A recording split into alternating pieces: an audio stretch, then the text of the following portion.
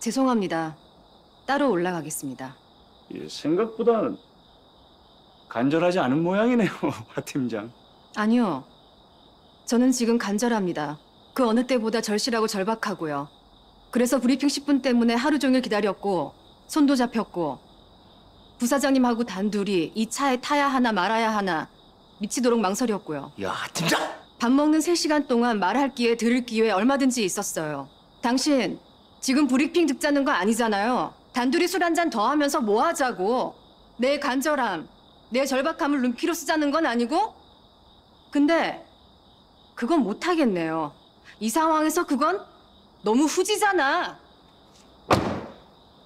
야, 하 팀장, 너 나 누군지 몰라? 신유정 산무 견제하라고 집안에서 박아놓은 낙하산.